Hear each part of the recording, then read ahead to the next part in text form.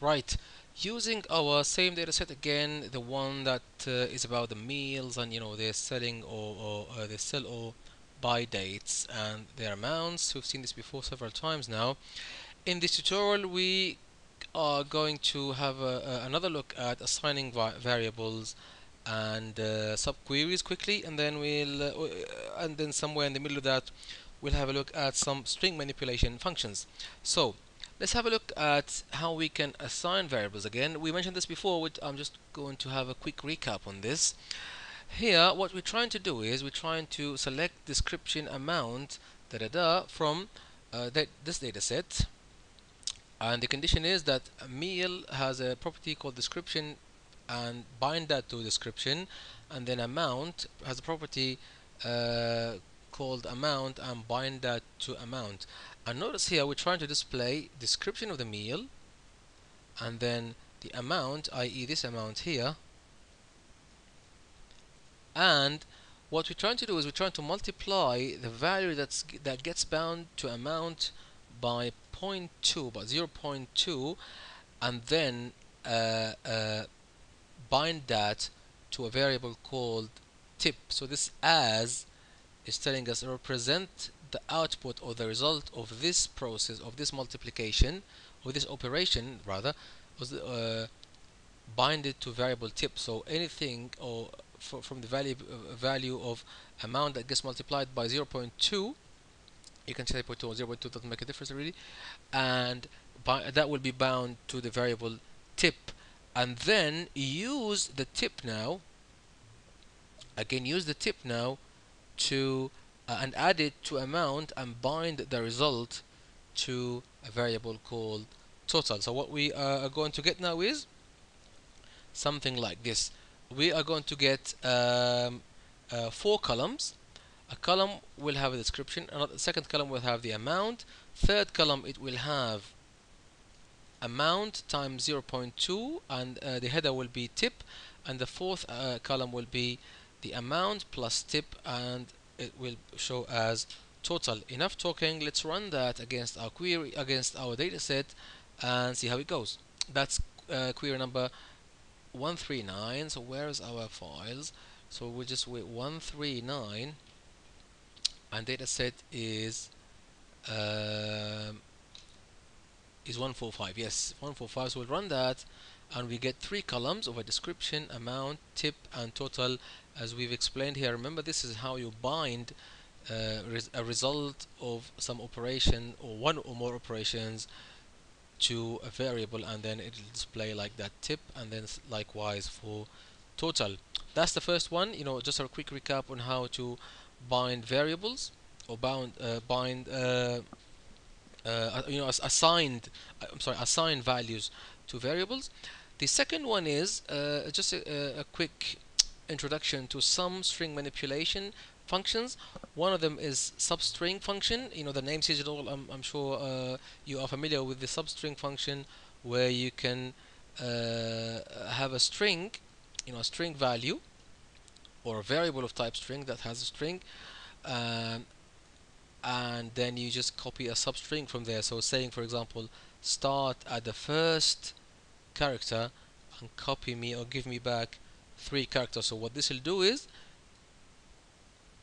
any value that is assigned or bound to uh, the description variable from there we will start at the first character and copy three characters from the i.e. character number one number two number three. Remember that you know for some programming languages for example always the first character is at index 0 and all that. Here we're speaking about start at the first character. It doesn't matter where 0 or 0 or 1 anyway the first character we're not interested about the index at the moment. Start at the first character uh, and give me the first three characters. Start from the 1 2 3 and then the result of that turn it into uppercase format yes? Turn it into upper, uppercase uh, form. So u case is, is to turn it to uppercase. And then get that or assign that the result of that to a, va a variable called meal code. To a variable called meal code and then display the amount with that as well. Let's have a look at what happens when you run this. It's 141 141 hit tab to autocomplete and then you run it. And this is what we have what happens. Now we get we get the first three three letters or the first three characters of the meal of the meal description. Yeah for dinner it's din and then converted into uppercase using ucase.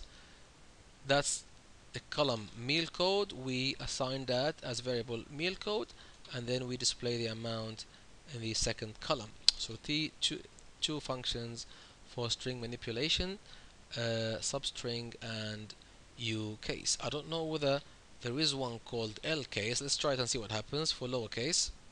It works actually which is nice. So we also have a lowercase to convert uh, a string into lowercase format. Leave that as uppercase save it. And the uh, third thing that I wanted to show you now is that uh, after learning about how to use those functions you can see that this actually is being placed on a second line because it makes the uh, the select statement too ugly and too big and we can actually have another trick of doing the same thing and move that inside our where clause and this is where if you remember from the last video we learned about uh, subqueries or as I prefer to call them nested queries. We can move that inside the where clause and have it as another query so we can have two subqueries this is one and this is the second and this is evident from our example here. What we're saying here is uh, for, the, for the first query, which is going to do the job of, of, of this, is um, you know the external one select meal code and amount. Amount is coming from here and meal code will come from here. So select meal select meal where imagine imagine this doesn't exist yes? Imagine this doesn't exist. So we'll remove that say select meal uh, let's let's just give it correct and select meal code where meal code has a description. If we save that now and run it with 143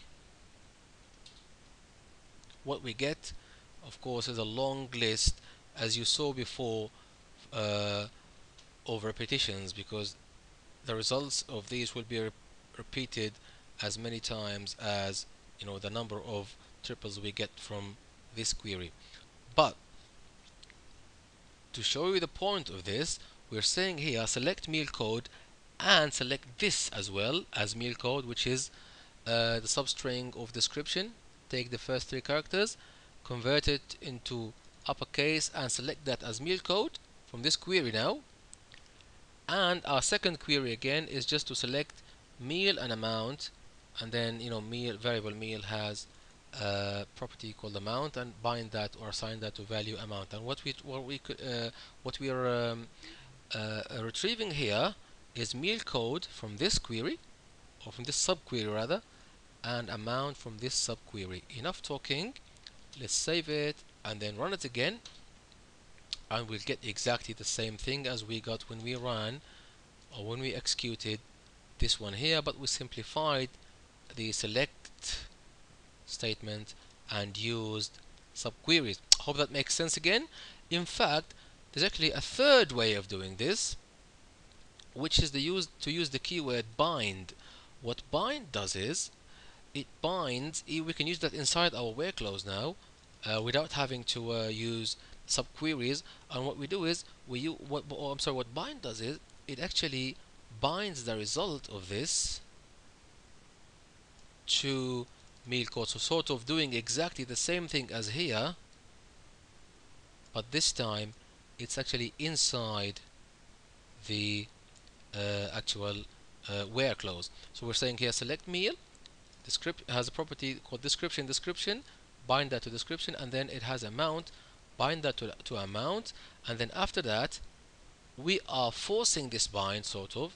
This happens automatically the binding here and the assigning here happens uh, automatically and now we're, we're telling it we're telling SPARQL to uh, bind the result of this function string function this string function the result of this uh, uh, process or operation bind that to variable meal code and then select it in our select. I mean uh, if you don't believe that let's say give me back meal and, and amount and we can remove this.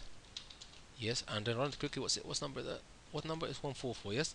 So we can run it again and we uh, uh, we'll get a list of you know meal codes and their and their amounts or their prices. And then if we you know here we're getting back the meal uh, code rather than description because we didn't actually call back description. So if you call back description we'll get the uh, you know dinner or lunch or, or, or breakfast. But if we actually use the bind now I mean if I use bind and don't call it there's no point anyway as you can see but if I say give me back the meal code now it will do exactly the same thing. It'll just get the meal code from the description and then convert it into uh, uppercase. Run it again and you see that it gives me back the same result as uh, this and this. Whatever way you like it's up to you but these are three different ways of doing exactly the same thing. Another last look or one last look at this on how to use the function bind. This is how you use it. You give it you say bind inside your where clause and then you say or you give your operations that you want to perform and then you tell it to bind that as and then you give it the variable name always remember variable names start with a question mark and then we are retrieving that in our select clause save again and then run it again and that's how it works. Thank you very much for, for watching. I hope this all is making sense now. I hope you're getting the spirit of the SPARQL and you are starting to think in SPARQL as we mentioned before. Thank you very much indeed for watching and I will see you next time